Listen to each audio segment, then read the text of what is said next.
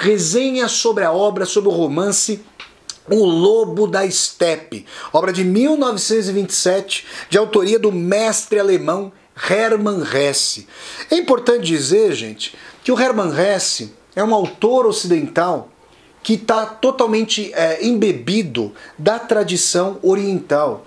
É um grande conhecedor da filosofia oriental, é, um, é alguém que escreveu também um livro chamado Siddhartha. Como vocês sabem, Siddhartha é o nome de Siddhartha Gautama, aquele que viria a ascender à condição de Buda, alcançando a sua iluminação, o seu nirvana. Esse príncipe da, da região norte da Índia, que deixaria ali a fortaleza de seu pai, que queria fazer com que Siddhartha não, não conhecesse o sofrimento da vida, para alcançar iluminações, ah, chegando a, a, a mendigar virando ali alguém que morava nas ruas, tentando alcançar esses aspectos de superação das dimensões do ego e do sofrimento. Então Hermann Hesse é alguém muito familiarizado com a tradição uh, de uma espiritualidade que transcende os limites do judaico-cristianismo. E do que trata o lobo da estepe? Bom, quando a gente imagina um lobo da estepe, Apesar, apesar de nós claramente pensarmos ali na alcateia, nesse coletivo de lobos que vão transitando pela estepe em busca de sobrevida, em busca dos seus alimentos, o lobo da estepe poderia ser aquela figura solitária, aquela figura ali não propriamente gregária. E isso se associa à questão do Harvey Haller. Bom, o narrador de O Lobo da Steppe é, é, é, é um aparentado da locatária, daquela que aluga um quarto de sua casa para o Harvey Haller. Harvey Haller é um senhor já de mais de 50 anos, hoje seria até, na verdade, nem um senhor, né? 50 anos hoje, uma idade, aliás, até jovem, mas para um século atrás, uma idade mais velha. E o Harvey Haller é um solteiro, é um solteirão, é um camarada que tem hábitos mais noturnos, alguém que lê com contumácia, um camarada que não está muito preocupado com o asseio burguês, a limpeza burguesa da casa. Aliás, é importante dizer que o narrador tem bastante lucidez sobre os traços histórico, históricos e classistas nos costumes mais recônditos, por exemplo, da dona da casa, que não deixa um traço de pó, um traço de poeira e de sujeira na sua casa. E um dos fatores que fizeram com que o próprio narrador aconselhasse a dona da casa não alugar o quarto para o Harvey Haller é a sua impressão de desleixado, que não, não, se veste condignamente, que tem hábitos ali de bebida e fumo, que poderia ali é, é, é, é sujar muito o quarto da dona da casa. Mas acontece que a falta de asseio exterior do Harvey Haller uh, não diz qualquer respeito às suas preocupações, justamente. As suas preocupações estão voltadas para as questões últimas da vida. E o seu deslocamento em relação ao mundo é porque Harvey Haller, como lobo da steppe, como grande solitário, vive uma tensão em si. E a princípio o narrador coloca essa tensão como um deslocamento em relação a essa, a, a essa vida moderna, capitalista, consumista, repleta de anúncios em neon, repleta de, de discursos de vendas de produtos, que não diz respeito às procuras mais profundas de Harvey Haller. O que ele quer saber é o que ele está fazendo aqui. O que ele quer saber é se a dimensão do sofrimento pela qual ele passa tem algum sentido ou não. As referências a Friedrich Nietzsche esse grande filósofo alemão, esse conterrâneo do Hermann Hesse, são completamente explícitas ao longo de O Lobo da Steppe. E aí? É possível engrandecer a vida como obra, como queria Friedrich Nietzsche, por exemplo, em, em seu livro Assim Falou Zaratustra, passando por cima da decrepitude que há de vir, Vale frisar que o lobo da steppe, o Harvey Haller, já era um homem de mais de 50 anos. Então ele estava enfrentando não a, a, dimensão da virilidade, do ardor, do patos nietzscheano propriamente afirmador da vida. A vida já se estava denegando biologicamente e se estiolando rumo ao despenhadeiro da morte. Então esse sofrimento fazia algum sentido? O flerte com o suicídio era a dimensão para a qual o Harvey Haller se encaminhava? Nas suas leituras, no seu isolamento, na sua impaciência para com os costumes tradicionais, numa vida de, eh, da qual ele se achava duplamente deslocado. Deslocado historicamente pela superfluidade, pelo vazio do consumismo capitalista, e deslocado existencialmente de uma vida cujo sentido ele buscava mas é, é, cujo sentido ele não alcançava porque não percebia ali uma resposta definitiva para a dimensão uh, que abre ali o ensaio do Albert Camus, esse grande escritor franco-argelino, o mito de Sísifo. Só há uma questão filosófica verdadeiramente séria: o suicídio. Saber se o mundo tem três ou quatro dimensões, resolver o mundo euclidianamente, na verdade, não toca ali o fundo mesmo da vida, que é olhar para os olhos vazios da caveira de Hamlet e responder à pergunta: ser ou não ser? Então, o lobo da estepe, essa expressão lobo, ela, ela tem uma dimensão polissêmica. O lobo é aquele que é animal, que está imbuído da carnalidade sem consciência, que busca ali a satisfação dos instintos. Por outro lado, o lobo da estepe é alguém que peregrina a estepe não apenas por fome, porque não só de pão vive, da, da, de, vive, vive Harvey Haller, mas sim de toda a procura. E essa procura faz com que ele se aproxime de sua dimensão espiritual. Espírito, por espírito, aqui eu não estou simplesmente dizendo, falando sobre uma dimensão do espiritual em termos religiosos. Espírito, Geist do alemão, ali está vinculado à dimensão de um espírito, de, de uma dimensão de inteligência e de uma dimensão de busca de sentido. Harvey Haller como que oscila, essa é a primeira palavra do narrador, entre a sua dimensão de saciedade dos desejos, ele até se irmana, ele até tem um caso com uma moça muito mais jovem, uh, a leva ali para casa, flerta com ela, tenta consumar ali a sua dimensão de ardor e de amor, mas ao mesmo tempo tem essa procura inequívoca e se isola de tudo e de todos porque não percebe que a realidade odierna, a realidade contemporânea, pode saciá-lo ou abrir portas e ampliar seus horizontes para essa procura. Então, Harvey Haller oscila entre os polos do espírito e do corpo, da, da, da, da, busca por sentido e do instinto, do desejo e das perguntas. Esses são os dois extremos em meio aos quais o, o lobo da estepe vai caminhando. Acontece que o narrador, é, o, narrador hessiano, o narrador de Hermann Hesse, vai dizer que a vida está para muito além de uma dimensão dicotômica, de uma dualidade entre corpo e alma. Essa dualidade é extremamente é, esquemática e não dá conta de determinar ali a, a, imensidão do espírito, não só do Harvey Haller, mas de todos e cada um de nós, de todas e cada um de nós. Por quê? Porque o que o, o narrador hessiano vai dizer em afinidade com a filosofia oriental e, nomeadamente, com o budismo, é que essa dualidade é mais uma das ilusões e que seria possível aquele que faz as perguntas corretas, aquele que faz a busca, transcendendo ali os limites embotados desse tipo de sociedade, e também as perguntas contumazes pela busca de sentido, entregando a uma dimensão de mistério, a uma dimensão de divindade, a essa dimensão de que o, mistério fica por ela resguardado e nós apenas confiamos e temos fé nessa consecução de desígnio, ele vai dizer que o caminho de iluminação, um caminho ali de busca implica justamente alcançar determinados estertores, determinadas dores, para fazer com que as perguntas seja, sejam transvaloradas, ressignificadas. É muito interessante que uma personagem da idade do Harvey Haller se abra ainda para além de quaisquer dogmatismos por uma busca incessante que chega ao ponto de ter que passar pelo luto de toda a tradição religiosa, filosófica e humanista da qual ela se embebeu, para perceber que existem outras formulações de perguntas, por exemplo, vindas do Oriente, com o budismo, e outras possibilidades de resposta, ou possibilidades de resposta outras. É nesse sentido que quem lê O Lobo da Steppe em diálogo com o romance Siddhartha, do mesmo Hermann Hesse, vai perceber que a história que eu contei rapidamente do Buda no início dessa resenha, e a qual vou fazer menção agora novamente, é fundamental.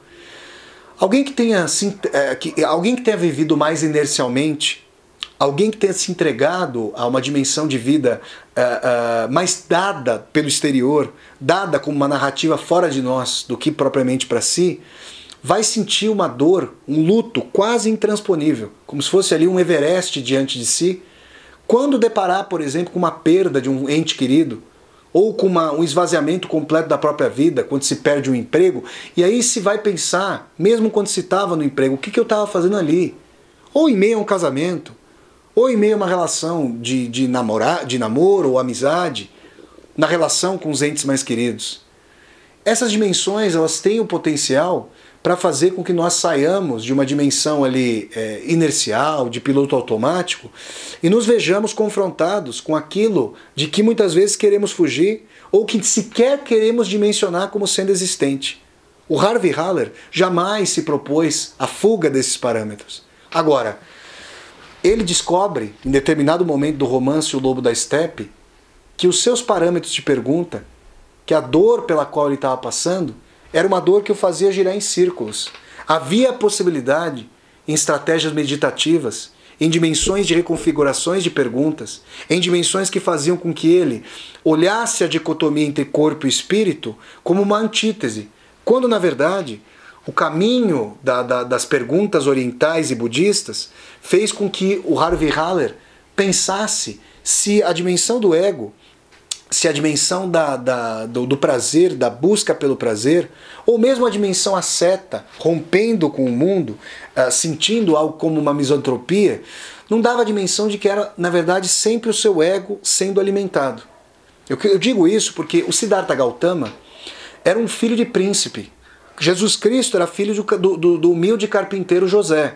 Então Jesus Cristo parte de um local de mais, muito mais sofrimento e privação do que Siddhartha Gautama, obviamente, que era filho de um príncipe, que vivia na bolha, no mundo à parte fantasioso da corte. Fantasioso porque não, não dizia respeito à maior parte das pessoas, a maior parte da vida dos homens e mulheres. Mas em determinado momento, quando Siddhartha consegue ali se esgueirar para além da corte e percebe é, como é a vida real, que não é apenas uma vida do sorriso postiço do palhaço. E por que, que eu falo do sorriso postiço do palhaço? Porque aquele e aquela que são condenados a sorrir, que tem o riso tatuado no rosto como uma cicatriz, são justamente isso, cativos do sorriso. Nós rimos por contraste, nós rimos por engrandecimento de algum momento ou realização. Nós sorrimos com alegria, com bonomia, e não propriamente porque isso permanece em nós. Geralmente a gente associa aquele que permanece rindo, que prossegue no seu riso, com uma, uma pessoa completamente alienada de si, como um doidivanas, como um louco. Quando Buda descobre que a subserviência dos seus criados era uma subserviência imposta, que o sofrimento lhe era desconhecido, que a dor lhe era desconhecida, que a própria dimensão de morte era tida para ele muito mais como uma ausência do que como uma ruptura e uma separação, Siddhartha Gautama percebe que a sua vida for uma antivida, que a sua vida for uma ruptura completa com todo tipo de vivência mais profunda. E é aí que ele vai querer encarar a vida numa decisão corajosíssima. Quantos e quantas de nós teríamos a decisão de Siddhartha Gautama de abrir mão do seu trono de sucessor, eh, de sucessor, de príncipe, sucessor do trono, para que nós encarássemos a vida para além dos privilégios e proteções da corte?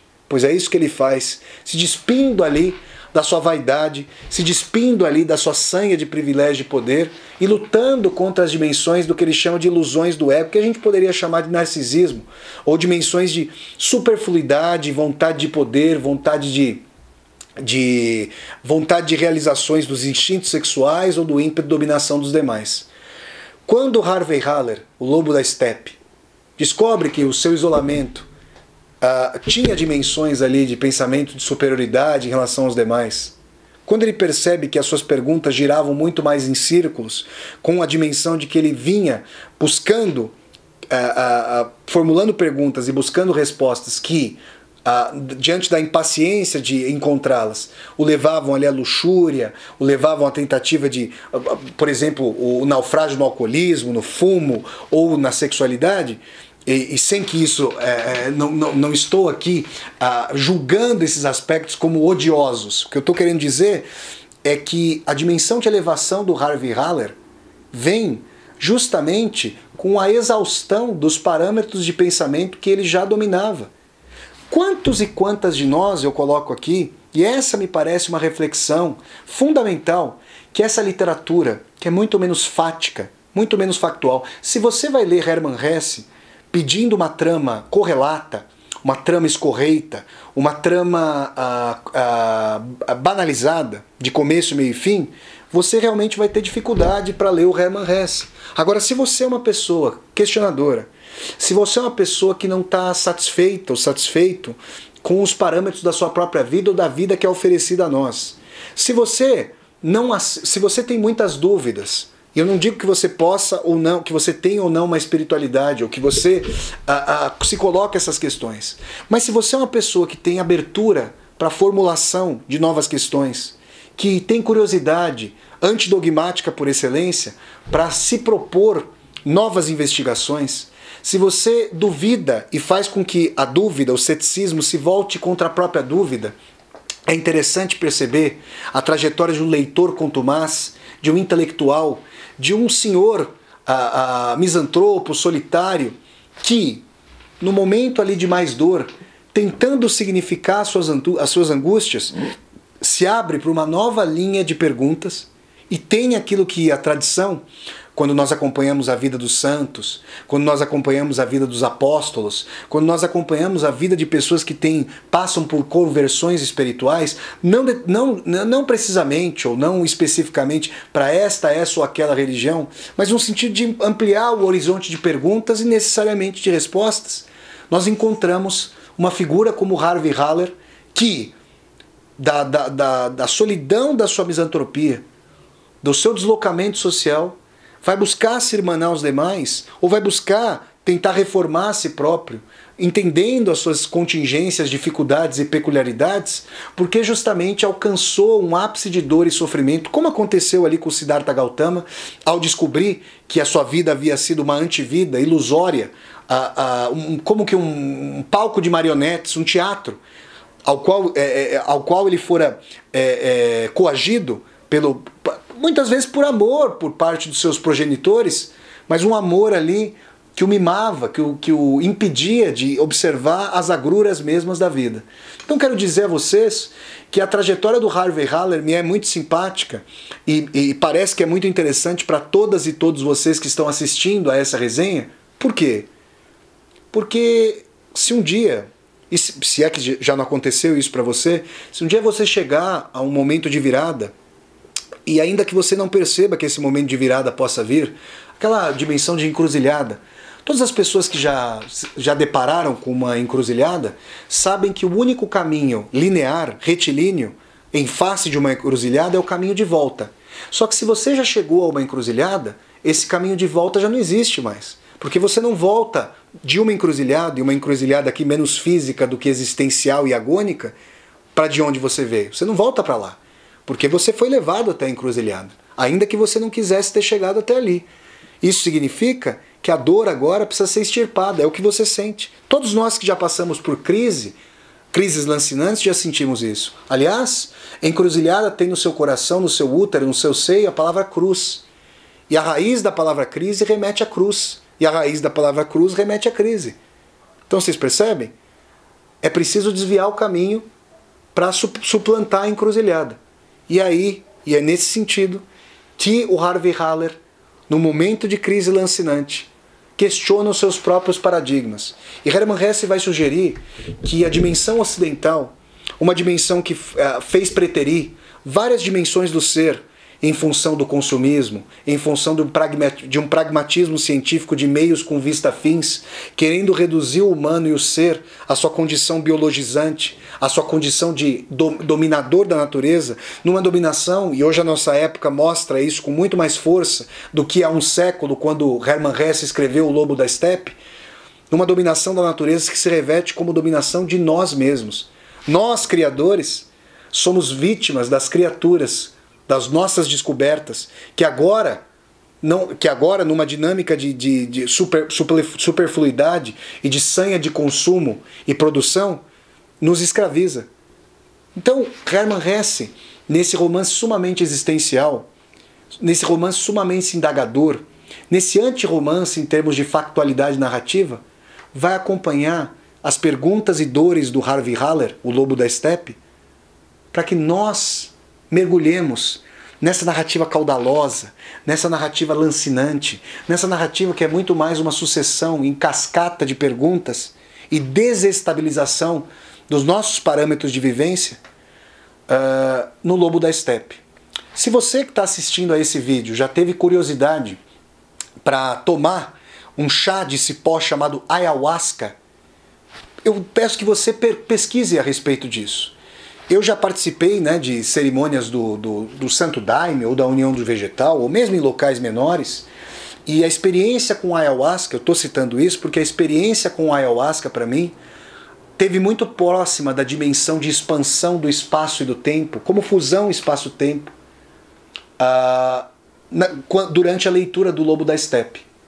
A leitura desestabilizadora, a leitura que rompe a dimensão de uma descrição paulatina, concreta, de lugar, de tempo, essa dimensão que procura raízes do ser foi muito próxima da, da desestabilização benéfica e expansora do ayahuasca. Então, se você tem curiosidade, acompanhe a, as discussões sobre o ayahuasca feitas pelo neurocientista Siddhartha Ribeiro. Vejam, tem o mesmo nome do Siddhartha Gautama e da personagem do Herman Hesse.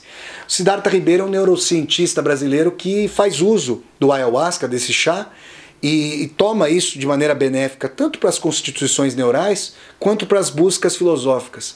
Você que vai ler, ou que já leu, ou que vai reler a, a, esse belíssimo romance O Lobo da Steppe, fique aqui com as minhas considerações, que foram muito mais indagações, perguntas, perquirições, percepções de que Hermann Hesse é um autor que destoa. Olha, eu tendo a dizer que é um grande revolucionário literário, espiritual, um grande iconoclasta, porque a sua obra literária é uma obra literária de uma densidade de quem sofre, de uma densidade de quem pergunta, de uma densidade de que de quem mesmo encontrando respostas, não vai se satisfazer com o horizonte daquilo que foi encontrado. É como se cada pergunta fosse já a formulação de uma. cada resposta fosse já a formulação de uma nova pergunta. Então, gente, essa foi a resenha do grande O Lobo da Steppe, obra de 1927 do escritor alemão Hermann Hesse, esse escritor e espiritualista alemão. Quem lê, eu garanto, O Lobo da Steppe, ou quem o relê, vai ter uma desestabilização. Aquelas pessoas que são eminentemente fechadas para quaisquer considerações existenciais ou espirituais vão rechaçar o livro. Mas se você tem suma curiosidade, se você, ainda que com muita dúvida, quer se aproximar pela sua curiosidade, que, porque quer a dimensão de que ah, pode ser que aquilo que é dado não o seja, de que o real tenha fronteiras de, eh, de muita expansão, vai gostar muito de O Lobo da Steppe de Hermann Hesse. Pessoal, se vocês gostaram de mais essa resenha de romance, de resenhas de livro aqui do meu canal, eu peço que vocês deem um like no vídeo, curtam o vídeo, disseminem esse vídeo pelas redes sociais para que nós possamos chegar cada vez mais e mais pessoas. Se você está chegando ao canal pela primeira vez, seja muito bem-vindo e bem-vindo. Eu peço que você se inscreva aqui no canal, toque a sinetinha para poder receber as notificações e deixe o seu comentário aqui abaixo desse vídeo para eu poder conversar com você. E mais, logo abaixo desse vídeo você vai ver uma tecla chamada Seja Membro. Se você se tornar membro aqui do meu canal, você vai poder contribuir financeiramente nas quatro faixas de membro humanistas que há, para que eu dê continuidade às aulas ao vivo, às resenhas de filmes e às resenhas de livro. Isso para não mencionar as leituras que eu faço aqui de grandes, grandes obras de autores e autoras. Então, gente, é isso aí. Convido vocês a sempre assistirem as resenhas de livro aqui do meu canal, pessoal, que acontecem todas as quintas-feiras, às 8 horas da noite. Um abraço a todos, gente. Tchau, tchau.